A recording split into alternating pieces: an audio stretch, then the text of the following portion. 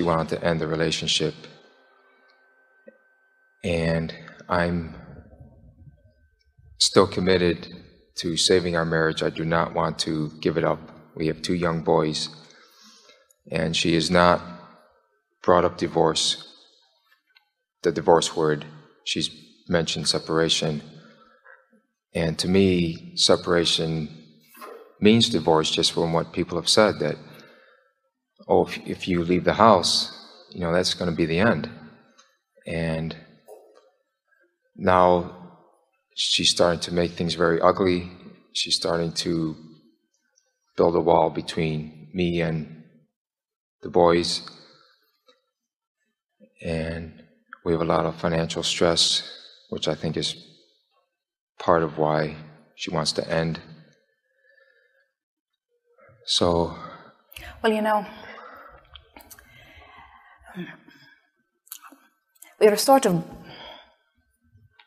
blunt when we said good, but we want to explain why that is not as out of sync with what you want as, as you think. I want to begin by saying to you that, as you say, you've already been living separate lives, even though you're under the same roof. And when you are in that situation, it's more likely that walls will be built to separate than if you were in less close proximity. And what we mean by that, think about it. Now, we really don't want to get into, although we will if you want to, reasons why she wants to leave or wants you to leave. Instead, we'd like to point out think about anything that you've ever lived or any relationship you've ever had where, for whatever reason, you were unhappy. Last night, Jerry and Esther had a meal in a restaurant that was very nice, but they, they got there very early. And they were the first, or among the very first people in this big space. And the host seated them in a very nice spot. And they settled in and made themselves very comfortable. And then, right behind them, he seated a mother with her three children, all rather small, and the smallest one, um, maybe a year old, maybe a little more. And so, as the family settled in next to them, Jerry and Esther noticed them and noticed how beautiful they all were. But immediately, the little one started taking the silver plate, the lid from the silver canister, and banging it on his bread plate. And it was very, very loud. And he didn't do it constantly, just sporadically, just enough that every time he did it, Esther would jump. It was startling. Esther would have liked to have built a wall between them. In other words, it was something that she couldn't control. It wasn't any of her business. She really didn't want to control it. She actually appreciated the relationship that this family had. She knew that they were having a good time. She did not want to get into the middle of their good time. But from her perspective, she was not enjoying the interaction. Now, the reason that we go here is because we want to point out that when you are in close, if they had been seated at the other end of the restaurant or in another restaurant, it would have been easier for Esther to maintain a lovely relationship with them. In other words, as the, as the night wore on, Esther got very weary of them all. And so, when you talked about your wife sort of building walls almost wanting to separate you between the rest of them. Or we want to point out to you that that really is a byproduct of her feeling sort of trapped with situations of her own making, situations of her own observation that she is just not wanting to participate in. And it is our promise to you that her relationship with you and your relationship with her and your relationship with the children will be much better if you can put some distance between you that will allow a softening of the clamoring that is causing the walls to be built to begin with. You get a sense of what we are talking about?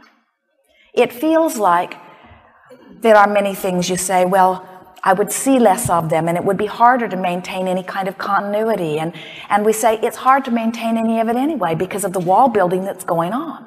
And if you could just see that the bringing down of the walls is the most important thing. And the thing that most physical friends do not really hear, and we find endless ways to try to express it, is that when even in your rightness about a subject, when you try to push your rightness toward another who disagrees, no matter how right you are, it causes more pushing against. In other words, it isn't until you stop pushing that any real allowing of what you want can take place. Now, we are not encouraging the divorce either, but we have to say to you that we see so many relationships that are so improved once the contrived and controlled staying together has been released. There's something about the marriage vows in and of themselves that are entrapping. They sort of defy the art of allowing in the sense that they say, I will stay with you no matter how bad I feel. That's essentially what they say. They're not really said to open the heart and encourage free flowing uh, interaction. They are encouraged, they exist almost without exception to protect, which translates to all of you, whether you are the one wanting to leave or whether you are the one not wanting to leave, into a sort of bondage or entrapment. So, if we were standing in your physical shoes, we would keep holding to the idea of what you really want, the basis of the relationship that you really want, and we would agree with her and release easily anything that's in the way of that. For example, I want, you would say, I want lots of delicious, comfortable interaction. And you don't just mean with the children, you mean the family. I, I want comfortable interaction. I do. I want comfortable interaction. And it is our promise to you. We believe that if you were to say to her, I'm starting to get a sense of the walls that we've both been building. And maybe a separation would help some of those walls come down. And I want that, I want that, I want that, I want that. I, I want us to feel less stress. I want us all to feel more free. I want to reignite the feeling of, of well-being in other words, not using entrapping sounding words, I'm wanting us to be together forever and ever, because that's kind of suffocating her. I want us all to feel happier. And anything that moves us quickly toward feeling happier, I'm all for. And then repeat some of the things that you really mean, that you meant way back then and that you mean now. I want your life to be joyful. I always wanted your life to be joyful. You will hardly believe the soothing that that would be to her. I've always wanted your life to be joyful. I never thought that me going away was the way that you were going to reach for that. But if that's what it takes, then I got to tell you, I'm all right with that because I want your life to be joyful. I want our kids' lives to be joyful. And truly, I want my life to be more joyful. And I'm willing to take the pressure off to do that. And then, and this we think is the crux, part of the crux, not all of it, but the crux that makes this feel so illogical when there is already financial pressure. The idea of maintaining extra households uh, feels like throwing gasoline on a fire that's already burning out of control. And so you could offer that softly. You could, you could say softly, um, I don't know how we will swing it financially, and I, I wish, I wish that I had enough money in a bank account that I could set you up in a magnificent place and I could keep a comfortable place where our kids could move back and forth between wonderful places. That would be my heart's desire. But for now, I can't quite figure out how we're going to manage that. And we believe that in your willingness with your words, you will diffuse so much of the energy that is making her speak this stuff that a sort of rational soothing will come over her and she will say something to you like, well, we don't have to do anything right now. Let's just sort of see how it goes. And it is our absolute belief that if you offer these words, there will be a diffusing of the tension that then will give all of you an opportunity to take another run at this. We're not giving you these words because we're trying to help you save your marriage. We're giving you these words because we're trying to help you soothe a situation that is uncomfortable, and there isn't any reason for anybody to be uncomfortable. We don't want you to be uncomfortable. We don't want her to be uncomfortable. In other words, you see yourself as a soother, not as a holder, not as a maintainer of a desire uh, for the relationship. See yourself as a soother. Say, I'm going to soothe this. I can't fix it. I can't get enough money that we can all live in great places right now, and I can't set you up with a great lifestyle. I can't do all it. I can't fix this, but I sure can soothe it.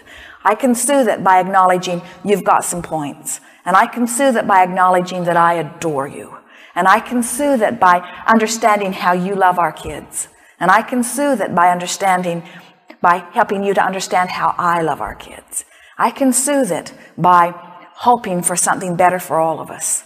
And I can soothe it by seeing that you've got some points. And I can soothe it by acknowledging that help is on the way. And I can soothe it by acknowledging, you see what we're getting at? Just soothe it.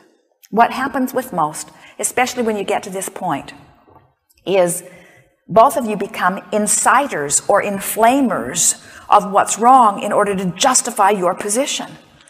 And you don't want to justify your position because you can't justify your position without beating the drum of what you don't want. And when you beat the drum of what you do not want, you activate more of what you do not want, which makes it impossible for you to get what you do want, you say. You're not wrong. She's not wrong. You've just created this thing uh, for a point of clarity, and your relationship will be stronger for it. We want to say to you every relationship is eternal. You will always have this relationship, you will always be this family, and where you live is really irrelevant to the relationship. In other words, what you're wanting to see is instead of this family that is identified by the house that we live in, you're wanting to see relationships as the structure. So you have a relationship with your wife and you have a relationship with each child and each of them has a relationship with each other and each of them has a relationship with your mother. In other words, you're all co-creating. You're not really a family in the sense that you are a thing or a relationship. You are a multitude of relationships there's this relationship and that relationship and this relationship and that relationship and this relationship. And all of those energies are mixing together, you see. And what you're wanting to see yourself as is a catalyst or a soother of lovely relationships. In other words, as you focus on two of your children and you see them in your adoring way by focusing upon their positive aspects every chance you get, you actually enhance their relationship with each other because you feed them the energy of well-being that makes their relationships better. In other words, you have so much more power of influence than you know. And what we've noticed every time there is a separation of a family, the family improves immediately because the beating of the